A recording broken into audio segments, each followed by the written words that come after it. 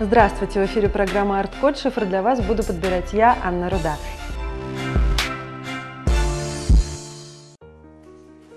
Конференция – то мероприятие, где встречаются теоретики, практики, представители туристического бизнеса и академической науки, сотрудники учреждений культуры и органы власти. Участники научно-практической конференции «Культурное наследие в контексте устойчивого развития» представили свои наработки, обсудили проблемы и тенденции туризма в Гродненской области.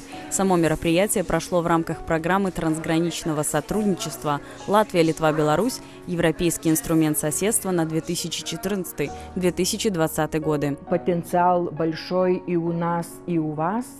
И знаю, что граждане, они хотят увидеть, как вы живете, э, что у вас, какое наследие, как вы э, справляетесь с проблемами.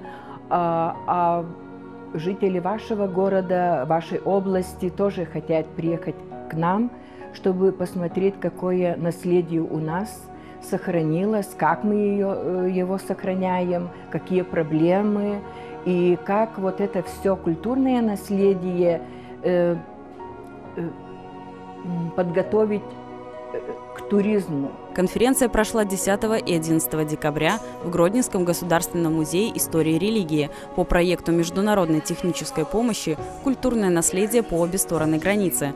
С 2012 года по 2018 удвоился поток туристов в нашем регионе.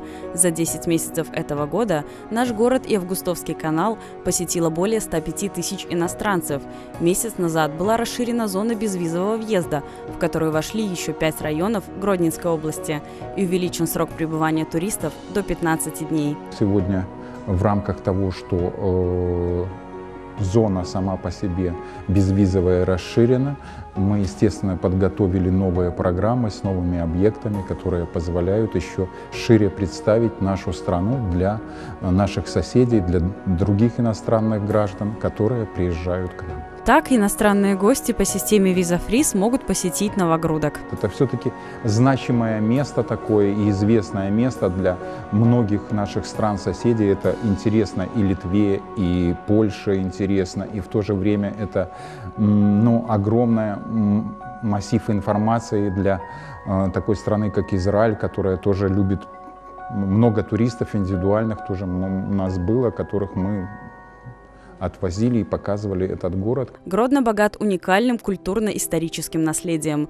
У нас одна из самых высоких в республике концентраций памятников истории культуры. Работа конференции была организована в рамках двух секций. В ходе работы одной секции были представлены научные исследования, которые могут содействовать развитию туризма на белорусско-литовском пограничье. В центре внимания другой секции были рассмотрены проблемы сотрудничества учреждений культуры и образования с туристическими компаниями по продвижению продвижению продукта туристических услуг.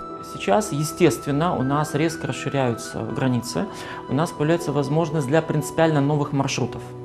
Маршрутов, которые будут охватывать уже не 2-3 дня, ибо наш традиционный продукт это был тур выходного дня, основанный на историко-культурном наследии города Гродно. Ну и, конечно же, Августовский канал.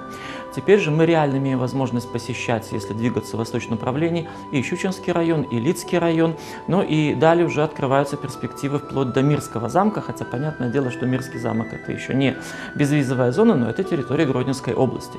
То есть те самые а, маршруты, как, туристские, экскурсионные, которые будут сквозными, образно говоря, вот сейчас они начнут вырисовываться. Их надо обсудить, а, их надо говорить реальность с литовскими коллегами, и нужно выстраивать эти маршруты смело как трансграничные, то есть не просто по Гродненской области, а вот такой широкой дугой, захватывая и литовскую, и белорусскую территорию. Это новая весьма перспективная задача, которая открывает новые возможности для индустрии гостиничного бизнеса. Так, планируется открыть 6 новых гостиниц. В мае месяце должен начать действовать шестой седьмой этаж гостиницы «Беларусь». К фестивалю национальных культур завершится реконструкция дворцово-паркового ансамбля «Святск».